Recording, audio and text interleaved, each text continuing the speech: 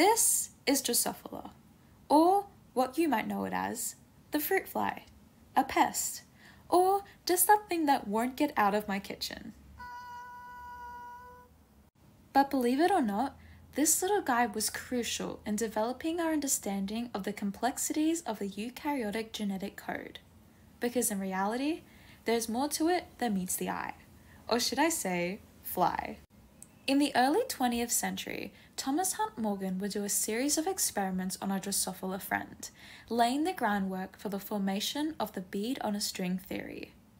This described genes as discrete units, dotted like beads along a chromosome. There was no overlap, and each gene was responsible for determining a single trait.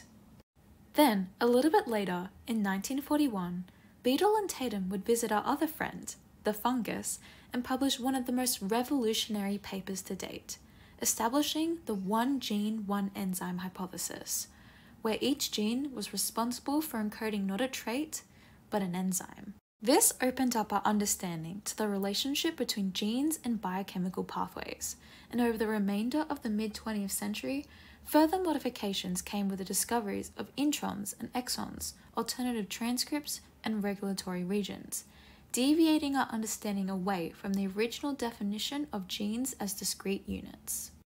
At this point, scientists were feeling like they had created a pretty good picture of what a genome looked like.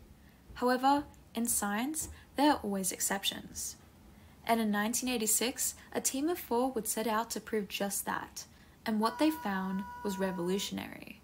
What they found was nested genes. They started by mapping the GART locus, an area on the Drosophila melanogaster chromosome 2L27D, which, from their previous research, had been found to encode three enzymatic activities involved in the purine pathway, making it an essential housekeeping gene for basic organism function. Then, by using computer analysis, they were able to reveal something quite bizarre an open reading frame on the non coding strand, running in opposite orientation inside the first intron of the GART gene. They had a mystery on their hands. Did this nested intronic reading frame actually encode a functional protein? And if so, what did it do? And with a little bit of patience and some radioactively labeled complementary DNA, they were able to determine just this, and what they found was extraordinary. This gene was fully functional, and despite being nested within the purine gene, they had absolutely nothing in common. Not only did they not share any sequence due to being on opposite strands, but their biological functions were completely opposite.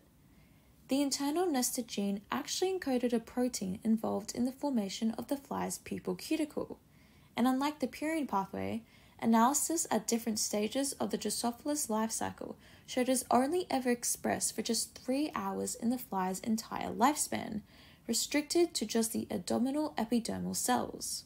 So you're probably wondering, why would the Drosophila genome evolve to have a housekeeping and a developmental gene in a nested arrangement? The answer is we don't really know.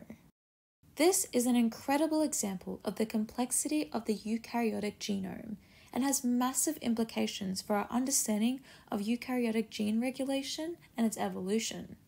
Two members of the original nested gene team would go on to complete similar research in another Drosophila species, Drosophila pseudoobscura, believed to share a common ancestor with Melanogaster, in which they found the exact same GART nested arrangement. This gave evolutionary significance to their original findings. As well as this, other developmental pupal cuticle genes within the Drosophila genome have been found to share striking resemblance to the intronic GART nested gene. Most predictions of how this came to be propose the idea of transposition, where a piece of DNA is able to move from one part of the chromosome and insert itself into another. However, why this gave a selective advantage in the Drosophila evolution and how exactly these two genes are regulated so differently is still unclear. And the mystery just keeps on building, as it has been found that nested genes can even exist inside other coding regions. We now know that arrangements like the GART locus are common across the eukaryotic domain. There's even over 150 of them in you. Therefore, ongoing research into this genomic mystery is a crucial piece in the puzzle that is our understanding of the genetic code. So, it turns out there's actually a lot we can learn from our humble little Drosophila. And maybe next time you see one buzzing around your kitchen, you could give it a little thank you for all it has done for our understanding of genetics.